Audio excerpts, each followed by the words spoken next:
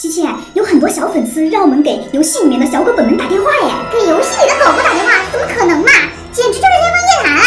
我信你个鬼！你这个糟老头子坏的很。可是粉丝们说，在凌晨十二点的时候绝对可以打通，而且打通之后，小狗本们可以满足我们三个愿望。现在刚好是凌晨十二点，要不咱们试试如果真能打通的话，我就替小可爱们许一个愿望。废话少说，赶紧试试吧。先把小狗本本的 APP 打开。哇塞，它正在看报纸哎，而且我发现它的左手边真的有一部电话。我现在就打电话给小狗本本。好期待呀！嘿 Siri，打电话给小狗本本。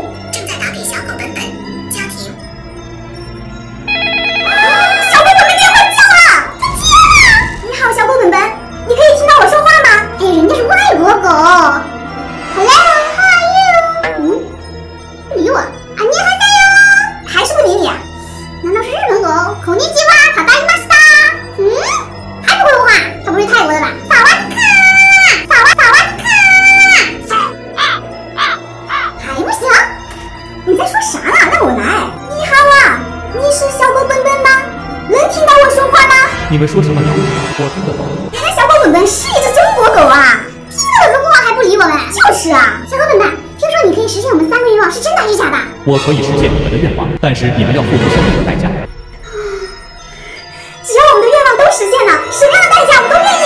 你们可别后悔。不后悔，不后悔！我的第一个愿望，我希望我能家财万贯。支付宝到账一万元。狗本，你误会我的意思了，家财万贯的意思，它不是只有一万块钱。反正你的愿望已经实现了，该我了。我的愿望是，小粉丝点赞这个视频能到达十万。Nice。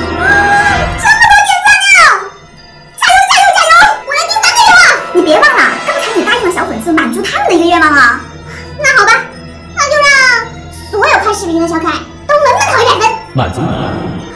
太厉害了！既然你们的愿望都实现了，现在该你们付出代价了。还要付出代价？什么代价呀？我头